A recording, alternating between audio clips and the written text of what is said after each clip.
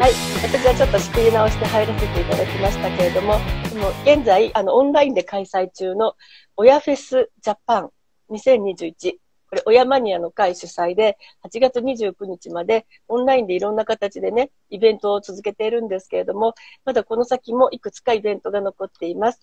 まあ、親好きの方とか、まあ、手芸好きの方と一緒にね、楽しめていけたらいいかと思います。はい。で今日のゲストは、純子さんです。おはようございます。おはようございます。いや、まあ、あの、間に合ってよかったです。入っていただけて。もう、私、1時間一人で何喋ろうかって今ちょっと考えたところで、はい、よかったです。はい。はい。はい。大丈夫ですか？はい。大丈夫です。大丈夫。お水、お水を飲む、飲む時間とか取らなくて大丈夫ですか？はい。はい。はい。じゃあ、まずあの、純子さんにね、いろいろお話聞きたいんですけども、あの、私と純子さんの接点ってどこなんでしょうね？私いろいろ考えて、どっから一体接点があってって、なんか昔から知ってることはなんか知ってるし、お名前も知ってるんですけど、どこで最初に会ったんでしょうとかいろいろ考えたんですよ。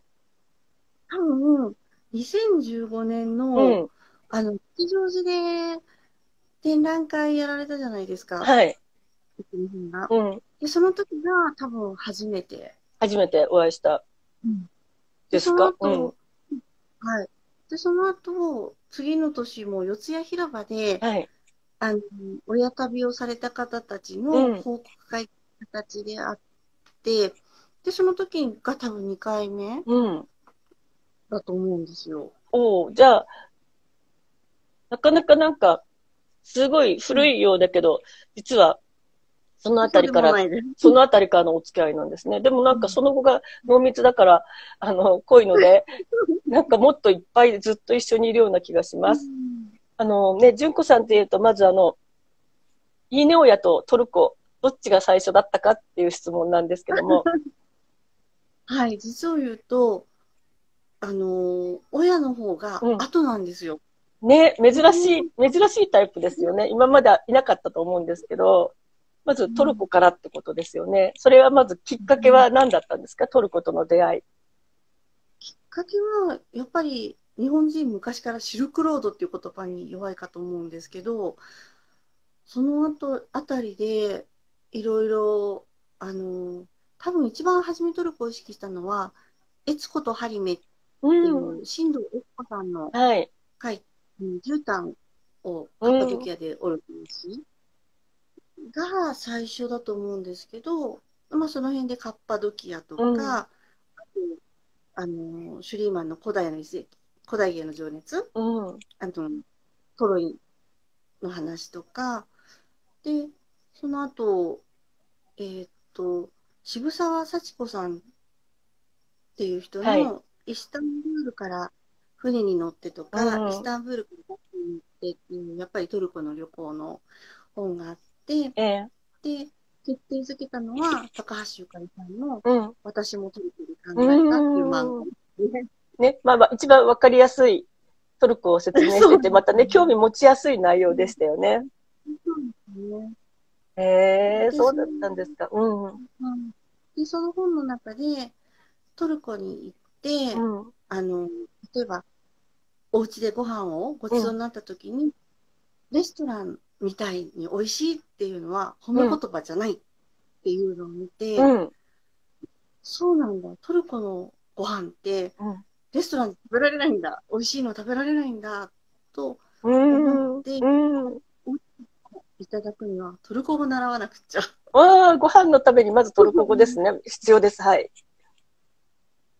で、トルコ語、やっぱり、ひかりちゃんの漫画の中でトルコ語いろいろ書いてあって、うんあら、なんか可愛いとかって思って、うん、あの、で、あ、ますます興味が出て、うん、で、トルコ語を習いに行き出したんです。それは、えっ、ー、と、トルコ語って都内ですか？それともお、あの、お家の近くで習えたんですか？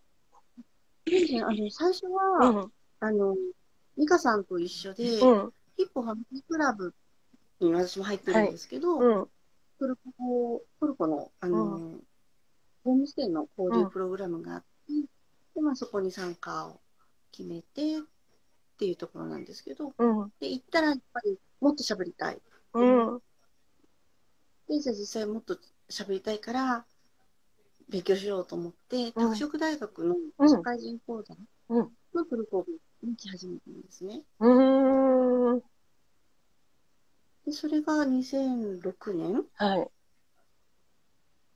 その講座は、その講座ってどれぐらいの頻度であったやつですか？期間とか、集中講座みたいな感じ？本当に、ワンクール1年なんですうよ。んうん。夏休みとかもあるんで、全部で35回から40回結構本格的に。はい。うん。であって、で、そこに行き始めて、最初男の先生だったんですけど、うん毎年先生変わって、うん。で、んん何年か経った時に女性の先生になったんですよ。うん。で、じゃあ遊びにいらっしゃいって言ってくれて、遊びに行った先で、うん。先生のお友達が、やっぱトルコ人、うん。日本語喋ってる形なんですけど、先生自体はトルコ人ですか？あ、トルコ人です。あ、その男性の先生も女性の先生もトルコの方。うん。うんはい、そして、まあ、お友達、うん、お友達が、まあ、トルコ人で、はい。いて、で、私、こういうのを教えてるのって、あの、うんトルコ人の先生、あトルコ語の先生じゃないうん。先生が、こういうの教えてるのよって言って見せてくれたのが、うん。トゥー親だったんですよ。うーん。で、その時には、あの、ななみさんの、うん。いいねの本を、うん。たまたま本屋に見つけて持ってたので、ええ。いいねをやりやりたいんですけど、って言ったら、うんまあ、あの、その、手芸の先生が、そのうちやるわっていう、ええ。ええ。トルコ人センターに、んじゃあ、風親をとりあえず習いにうん。行うん。って、で、その辺で、まあ、親うん。うんしたんですけど、もう、その、トゥー親を教えてる先生もトルコ人だったので、うん。ああ、言えば、トルコ語も聞けてラッキーじゃんとうん。思って始めたんですよ。へえ。それでトルコ語はやっぱり上達しました？そのトルコ人の先生に習うってことって。でもかなりね、日本だとほら探して見つかるわけでもなかったと思うし、その当時。だけど、そうですね、すごい、あの、トルコをやってるっていうので、うん先生気を使って、新宿のトルコ文化センターに、うん。トルコを習いに行くんですけど、うん。隣でトルコ語の授業をやってると、わざわざドアを開けて、うん。来るようにうん。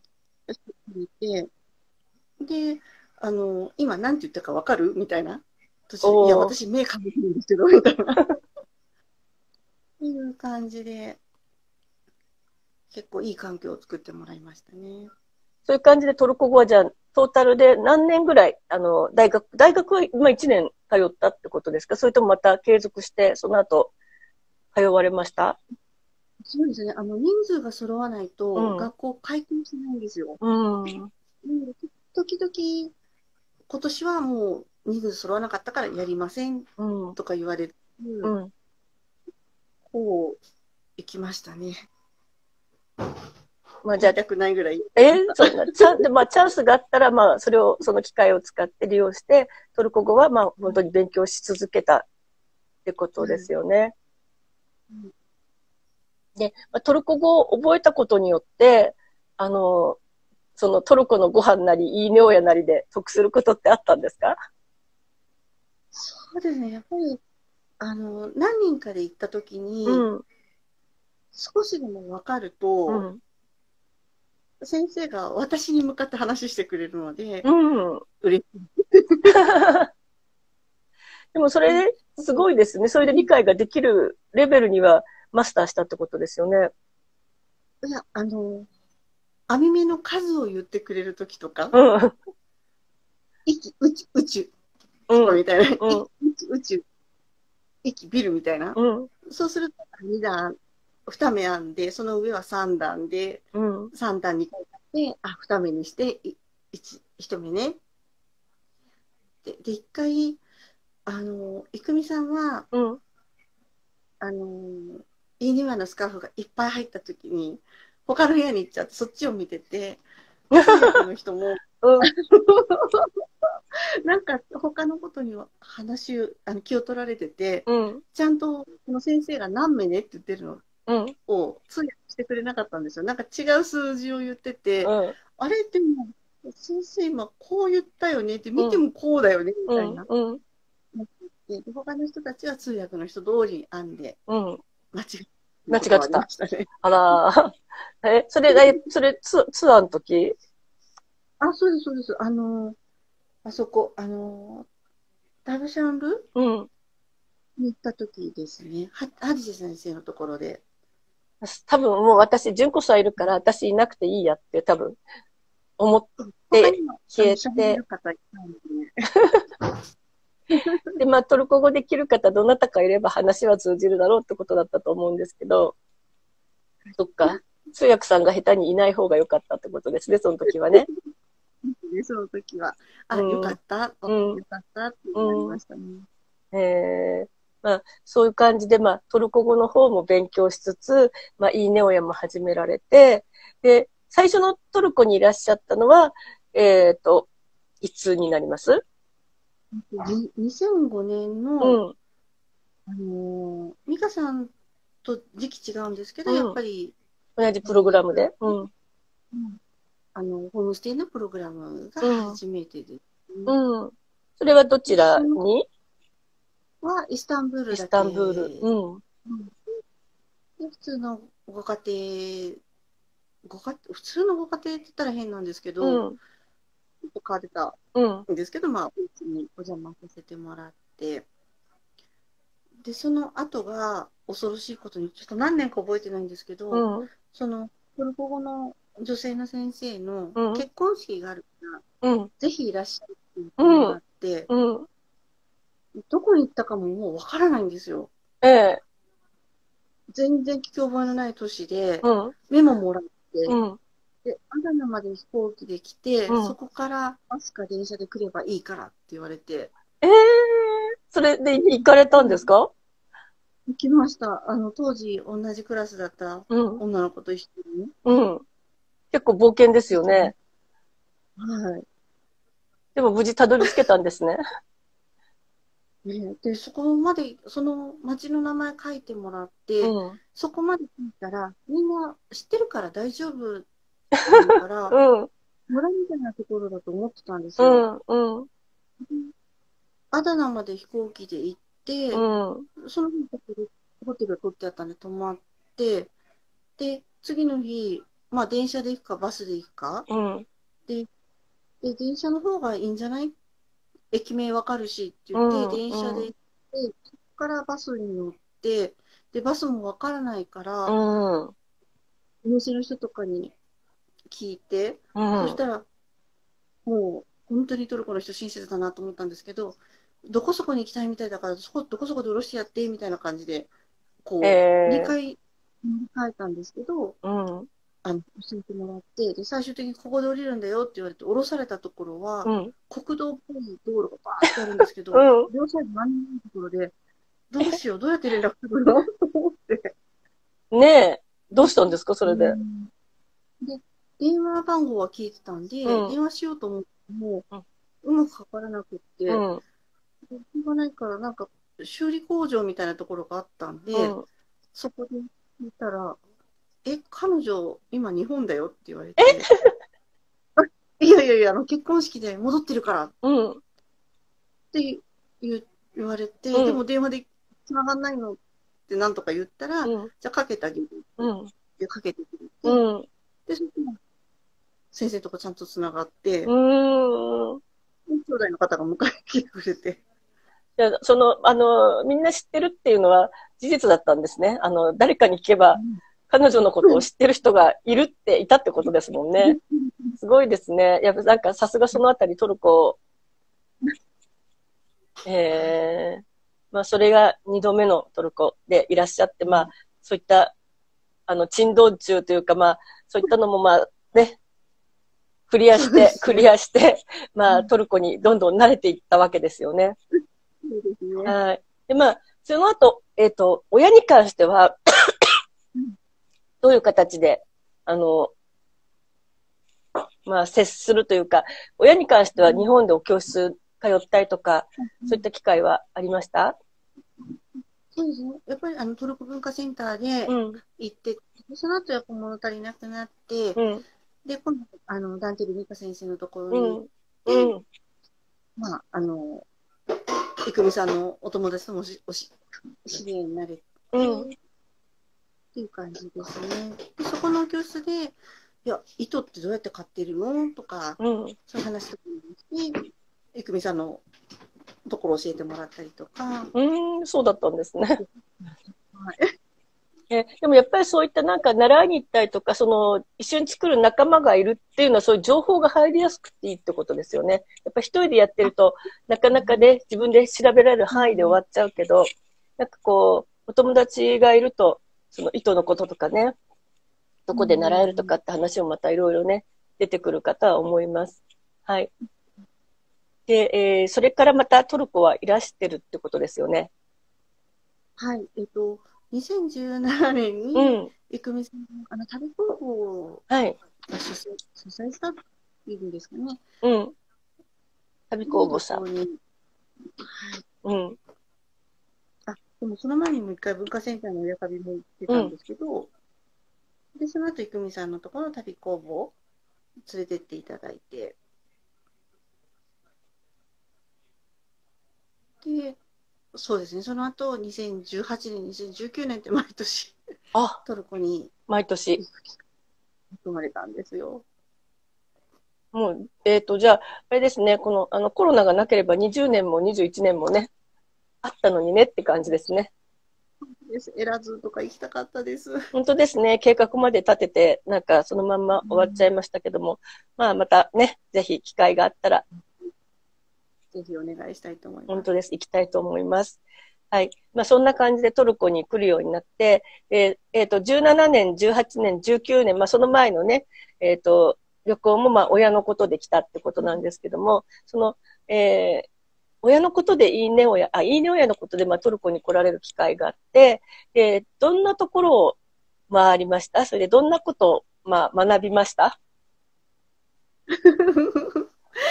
いそうですね。結構詳しい話をぜひ。えっ、と、親工房さんの時は、うんおデミッシュ、うん。17年ですね。うん。カウンシャル連れてってもらって、うんテペジック村連れてってもらって、ムシュクレ村うん。連れてってもらいました。で、2018年は、ブルサに連れてってもらって、その後トカとかと。トカトは、トカトは、あの、空港がシバス？うん。で、あのーその前、何年か前にトルコの映画が日本で上映するって言って、タイトルがシバスっていう映画だったんですよ。うん。ええあの、犬が戦う。うんうん。で、それで、あの、まあ、トルコ人の男性たちがその犬が戦うのを見て、掛け事するっていう映画だったんですけど、うん。まあ、トルコ語の先生がやるよって言うんで、うんじゃあ話の通りうん。と思って行ったんですけど、その、ポカットに行くって決まった時に、シバスの空港で待ち合わせ、あ、待ち合わせじゃないか。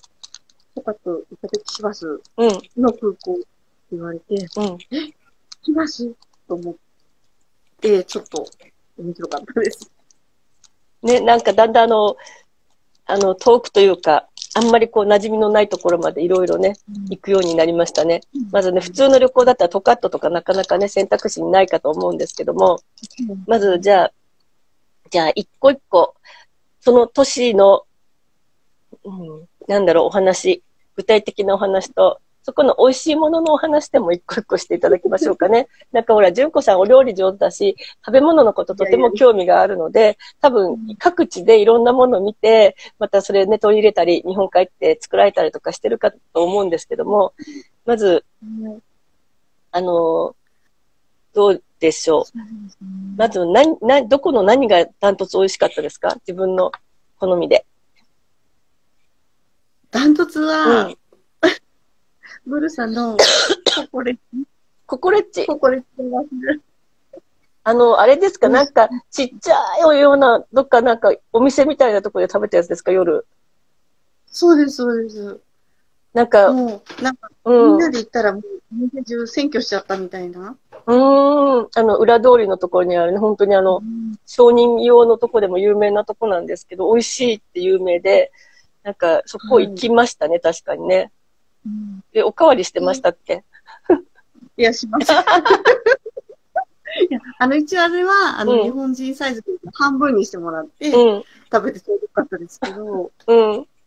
ね、ココレッチってまず何かっていうと、なんかあの、内臓っていうか腸ですよね。腸とかを、こうあの、紐状にして、それをじっくり焼いて、それをまた細かく切って、あの、パンにね、挟んで出してくれるんですけど、あの、調理方法によってはちょっと匂いがあったりとかしてまずくなるんですけど、上手な人だとね、とても美味しい、本当にあの、もつ系のサンドイッチですよね。でも全然もつ臭くないんうん。ですよ。で、もっとなんかもつもつ、もつもつしたらいいんですけど、うんうんうん棒に巻いてうん焼くって言ってたから、うん。もっとこう、細長い、なんか紐みたいなのをこう、棒に巻いて焼いてるのかなと思ったら、なんかこのぶっといソーセージみたいな、うん。こんなぶっといのが、こう、なんとか棒に刺されて、こう、ぐるぐる回転して、ま、焼いてて、うん。それそのままスライスして挟むのかなと思ったら、焼いた後さらにこう、スライスして、うん鉄板で焼いて、調味してうん。食べさせてくれて、なんか、あ、全然想像してたのと違ったっていうのそうすごいですね。あの、ぐるぐる焼くからドネルみたいに上だけ削ぐのかなとかいろいろ思ってたけど、なんかバームクーヘンみたいな形で焼いたら一回外して、バームクーヘン状に切って、切った分をまたさらに細かく切って、それをちょっと鉄板でね、あの、香辛料と一緒に炒めて、まあ匂いも消えるし、またさらに美味しくなって、あの、食べられる。うん。ココレッチってなんかトルコでいう、日本、日本でいうなんか飲んだ後のラーメン的な立場あのね、飲んだ人が最後にじゃあ、ラーメン食っていくかっていうのと同じで、トルコではココレッチ食っていくかみたいな感じで夜中でも空いてるお店だったんですけど、あの、なかなか普通知らないとね、あそこ行かないようなお店だったと思うんですけど、まあ、それが美味しかったんですね。あの、その後他のところで食べた時は、うんそんなに美味しくなかったんで、やっぱり古さんの店美味しかったんだなと思って。うん。他には何かありました？そのココレッチ以外には。あのーおあれ、タウンシャル、ハティジ先生のところで、うん。マントゥー出していただいて、うん。本当に美味しいと思って、美味しい美味しいっていろんなのに、ね、読んでたんですけど、え、だって、なんていうの、餃餃子、茹でた餃子にうん。ヨーグルト食べてるんでしょ、うん。美味しいねねっ。て思ってたんですけど、うん。本当すごい美味しくて、なんで私袋もう一個ないんだろうって思います。あの、そう、マントゥって、なんだ、ラビオリみたいな形で、こう、皮にね、なんか肉片とか、まあ、包んで、茹で、まあ、えー、焼い、オーブンで焼いて、それから、まあ、茹でて、で、最後にヨーグルトをかけていただいたりするんですけども、なんか、多分、皆さんがイメージされてるマントゥと全く違うマントゥーがね、そのハティジさんのところで出てきて、私も最初すごく衝撃受けたんですけど、なんかあの、普通のマントゥーだと私やっぱりちょっと苦手で食べないんですね。でも、ハティジさんのところのマントゥー食べてから、なんかマントゥーへのなんか愛が深まりました。ただしやっぱり他ではなかなか食べないんですが、あんな美味しいの作れるんだったらね、また作って食べてもらいたいっていう、本当にそんな感じでした。そっか、じゃあ、あと他には何が美味しかったですか？あとどこ行かれた？トカットとかも行かれてるんですよね？はい。あそこでは、うんあの、やっぱり、トカっての親の先生がうんお家に呼んでくれて、うん。カトミうん。魚ずれ目みたいな、うん魚ずれ目かな？と思ったら、まとめる。トカっての魚料理をって言って出してくれたものが、すごい美味しかったです。うんで一緒にも、あの、作らせてもらっうん。て、体験させてもらって、うん。で、本当に、あの、滝、滝のオーブン、あの、ま、薪のオーブンで、うん。うん。すごい美味しかったです。ねえ。そういあとは？あとちなみに、どこ行ってます？ブルサとカット。ふるさと、あとマルディン。マルディン、そうですね。最後マルディン来ましたね。アジル村うの、ん。なん、アジル？うん、アジュル。唐辛子みたいな、うん。みたいなのとか。で、そのと、あれ、あれ、あれって冬、冬？冬でしたっけ？マルディンマルディンです。メディアとって9月ぐらいじゃないですか ?9 月から10月。うん、なんか、その時にすごい美味しかったなと思ったのが、どこのお家行っても必ず出してもらったのが、うん。インゲン豆の酢漬けうーん。が美味しくって、思わずネットで調べてうん家で作りました。多分もうあの、冬支度をさっさと夏の間にやるから、あったんでしょうね。そういったものが。うん。ええそうやって、あの、見てきたもの、食べてきたもの、やっぱり日本帰った時に美味しいものは作って再現してみたりとかっていうのもされてるってことですね。なんか、今、親の話のはずが、食べ物のは話にすっかり言っちゃって、多分聞いてる方も食べ物の話の方が面白いのかもしれないんですけど、今の話に戻らせてもらうと、うん、あの、トルコにすごい興味があって、うん、あの、女性を一番最初にホームステイを受け入れしたことがあったんですよ。うん。学生さん来てた方に、うん。日本のっていうので、うん、一回があったんですけど、うん、その時、いなかったんで、ずーっと忘れてたんですけど、あの、私の住んでるところの、うん、な伝統工芸です。うん。スカーフをもらってたんですね。うん、見えますかね？これなんですけど、おー、ボン文塾校や、うん、このスカーフをもらってたのをうん、最近思い出して、うん。ああ、そうだったんだ。彼女出身どこだったんだかもうすっかり。えー、どこだったんですか？どこだったんだろうと思って。いくみさんわかりませんか？この親を見て。いやー、わかんないですね。えー、どっちの方だろう？なんか南の方ですか？アダナとかですか？いや、どうなんでしょう。でも、ボンジュックなんですよね。うん。チワとかっていう多分、モデルだと思うんですけど、うん。全然すっかり忘れちゃって、彼女の名前も覚えてないぐらいなんで。だいたいそんなもんですよね。後になってから、あ、あれはとかね。はい。そうですちゃんと思って。ね、でもまあそういった形で、まあいろんな形で、まあトルコの人とか、まあトルコの、トルコ自体と関わることっていうのが、まあずっと続いてきたってことですね。この何年間、5、6年ですね。5、6年ですかね。そうですね。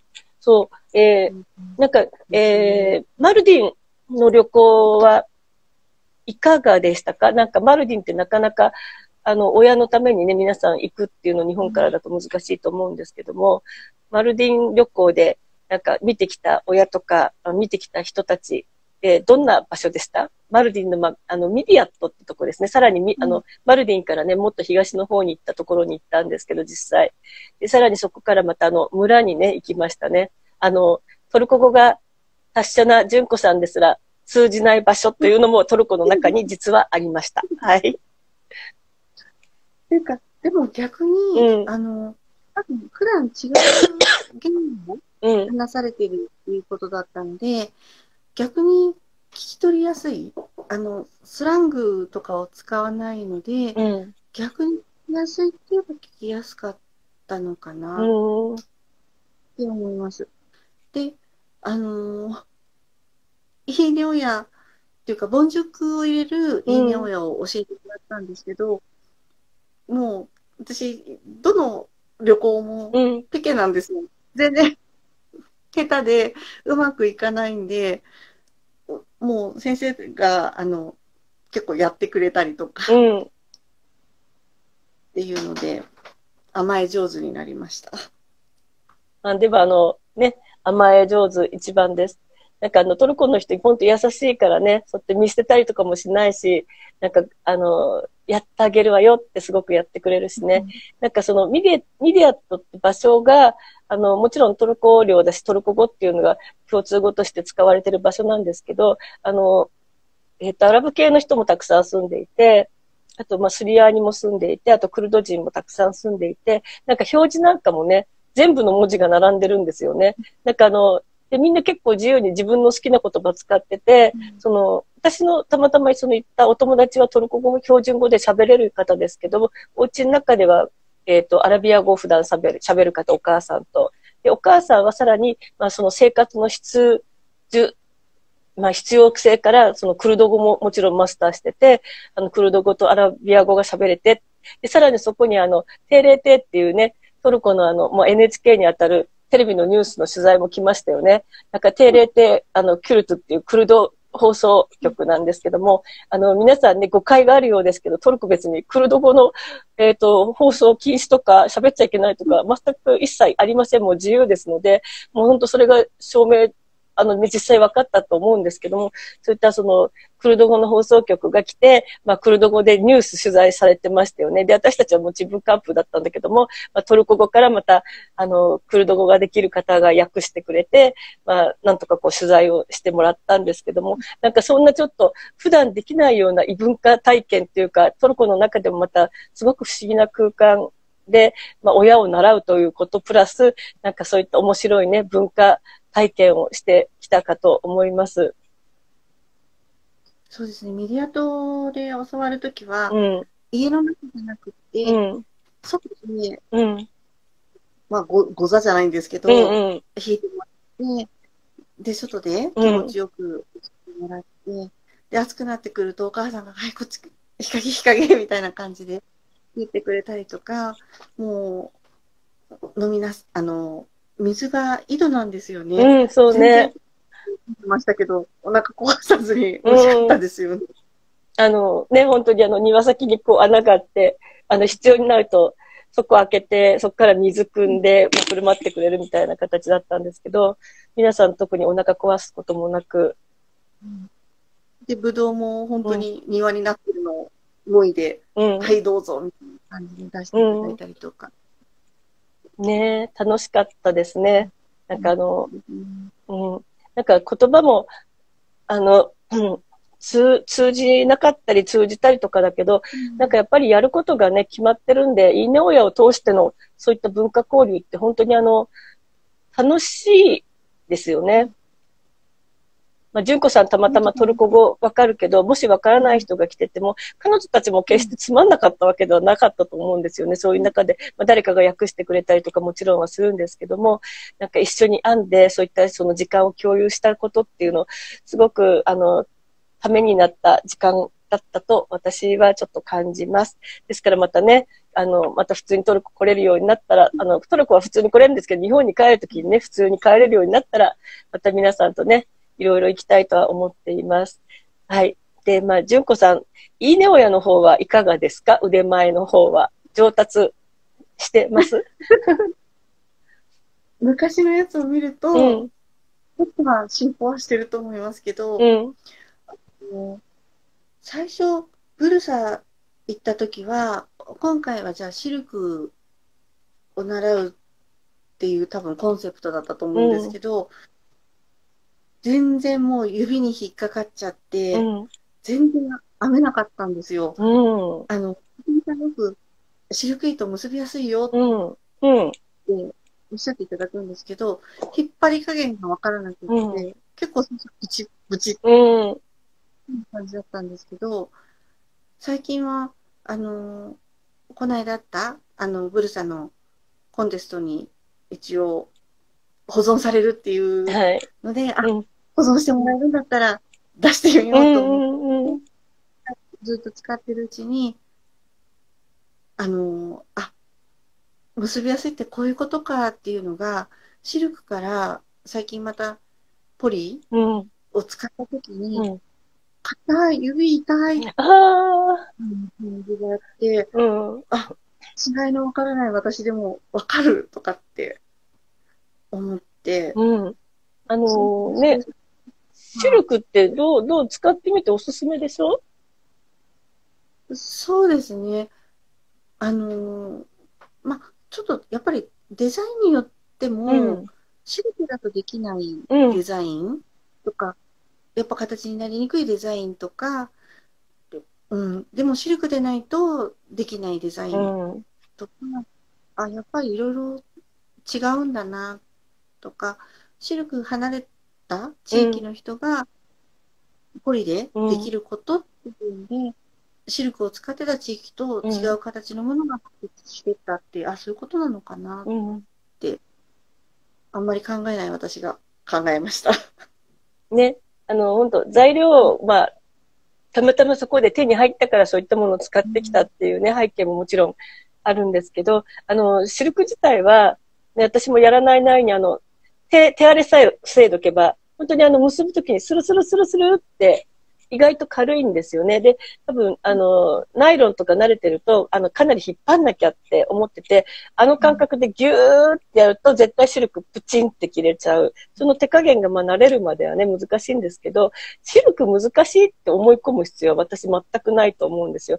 私も逆に、あの、シルクの方が私でも目が作れるわ、みたいな感じなんですけども、あの、ぜひね、その作品の本当作り分けですよね。私たち本当ラッキーなことにいろんな糸が手に入りますから、それに合わせた、まあ、糸使って作品作りしていくってことも本当あったらいいと思うし、またでも来年のね、ブルサの親コンテスト、純子さん今回出されてね、あのと、博物館の方に無事、まああの、ちゃんと収蔵されて展示されますけれども、なんかすごくいい記念ですよね。なんか自分が作ったものが、うんそのね、立派な博物館なんですけど、博物館のちゃんと、あの、ケースの中に展示されて見てもらう機会ができるってこと、本当にいい記念になると思うので、また来年もね、あると思います。で、まあ、条件はシルク糸を使うっていうことが挙げられますので、み皆さんもぜひ今からシルク糸慣れて、あの、ちょっと頑張って、純子さんみたいにね、作ってみていただきたいなと思います。純子さんの作品は、えっ、と、いつ展示されるんですか？親フェスの方は。明日？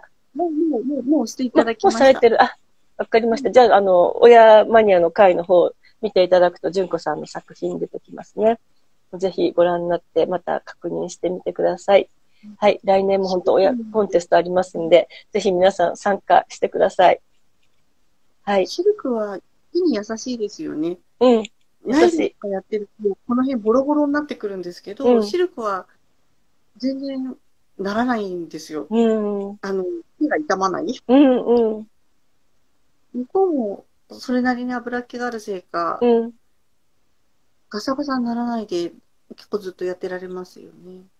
ね。あの、本当慣れ、慣れっていうかね、まあ、作る作品選んで、あとは糸に慣れるってことがね、必要かと思うんですけど、慣れてみたら、お、意外とシルクいいじゃんって多分思われる方もいるかと思います。なんか特にドイリーなんかね、ちょっと腹け、なんかパラッとしたような感じで作れたらいいし、多分来年はきっとドイリーとかの作品とかも狙い目かなってちょっと思ってます。うん今年意外となかったんで、ドイリー系が。もうぜひなんかドイリーで大物作って、シルクだったと余計ね、なんかそのドイリーの良さが出ますからね。そんなのもやってみたらいいかなと思います。はい。じゃあ、純子さんのまた、これからトルコとの関わり方、どう、どのように自分としてはトルコと関わっていって、またいいね親とか、またいいね親以外の、まあ、トルコ人のお友達もね、きっとたくさんいらっしゃるかと思うんですけども、なんかどんなことができて、トルコに対してどんなことを思ってるか何かありましたらよろしくお願いします。そうですね。あの、一番の目標は、うん。トルコ人女性とうんおしゃべりしながら親をやる。うーん。ね。うん。うん。まあ、あの、なかなかね、あの、前に連れてってもらった虫くれ村みたいに、もう今道端で編んでる人とかって少なくなってると思うんですけど、うん。自分で長距離バスのチケットを取って、うん行った先でやってたら、うんおしゃべりして、あ、うん。私もやってるんだ、みたいな感じで、一緒にできたら楽しいだろうな、うん。ね。で、もし行った先で、なんで日本人なのにいいね親習うんだとか、なんで知りたいんだってもし言われたら、なんて答えます？だって可愛いじゃない、綺麗じゃないって。え、なんであの、トルコの伝統文化を盗むんだ日本人はって言われたらどうします？盗んでない。ね。そうですよね。もうそしたらトルコ語わかりませんって。うんうん。まあ、あの、そうですね。使い分けしてください、ぜひとも。うん。そう。そう、トルコ語はじゃあまだこれからまたさらに磨きをかけて、あの、もし来た時でも私がいなくても皆さんの通訳をやってあげてください。それはもう、あの、インシャーラーです。できるものならやりたいです。ね、でも自分の勉強にもすごくなりますよね。なんかその通訳をしなきゃいけないとかっていうと、そうするとその、その時のその特別なその親用語はどういう形で使うのかって、これもまた村とか地域によって親用語の使い方ほんと違うじゃないですか。一つの結び目に対する言い方も全部違うし、なんか、そのブレードの作り方、ブレードの場所によっても全然言い方違ったりとか、なんかその地域ごとの親用語っていうのをね、自分で覚えていくっていうのもとても楽しいかと思います。なんか本当、私も今チェックしながらいろいろ、なんかね、また最近、矢妻とか、えっ、と、うんバッシュを移すとか、あの、言うじゃないですか、スカーフのこと。また新しい言い方をするとこ見つけちゃったんですよ、一つ。で、これもまたあの、そのうち近く発表したいと思うんですけど、なんか本当にまだここまでやってもやっても調べても、まだ新しいものがたくさん出てくる、なんか、あの、そういった魅力がね、いいね親にはあるかなと思うし、またトルコの魅力っていうのもまだまだ本当に知らない部分でね、たくさんあるかと思います。はい。またじゃあ、純子さん最後に何か一言ありましたら。最後に一言ってそんな難しいこと言わないでください。え、何でもいいんですよ。へえ、そうですね。あのー前に、あのー、いくみさんに連れてってもらった、うん。ヤギラで飲んだうんヤギのミルクが忘れられないんです。ヤギのミルクが飲みたい。うん。また連れてってもらえたら、あの時はもう本当全然、なんだっけ、あの、カラーフィルの親うん。を聞いてもらったんですけど、全然できなくうて、ん。もうあの景色を堪能する方に走っちゃったんで、また教えてもらえたらいいなと思ってます。ねえ、なんか一度行ったとこでも本当また行きたくなるとこたくさんあるんでね、切りないですね。ブルサの千本ノックはうん5本ぐらいのノックだったので、改めてセルダ先生にお願いしたいです。ね今度はまた、じゃあ2、30本売ってもらいましょう。またね、いろいろ楽しみたくさんいっぱいあるかと思います。またそれを楽しみにね、日本でのお仕事も頑張っていただいて、またトルコへの思いと、まあ、あとトルコ語ですね。もうほぼ完璧にトルコ語大丈夫なんですけど、さらにまた、もう私の会に十分役目を果たしていただけるために、あの、よろしくお願いします。はい。ありがとうございます。はい、こちらこそ、また、あの、そうですね。はい。えー今日はまあ、ここまでなんですけども、えっ、と、いよいよ明日が、えーインスタライブの最終回で、えー明日は私と、えー、おやマニアの会の万田さんのアゲインですね。で、なんと私が聞き手じゃなくって、私が、しあの、質問される側として、明日はお話しします。はい、ありがとうございました。はい。ご視聴くださった皆様も本当にありがとうございました。いよいよ明日インスタライブ最終回です。はい。では、はい。さようなら。はい、さようなら。ありがとうございました。はい、ありがとうございました。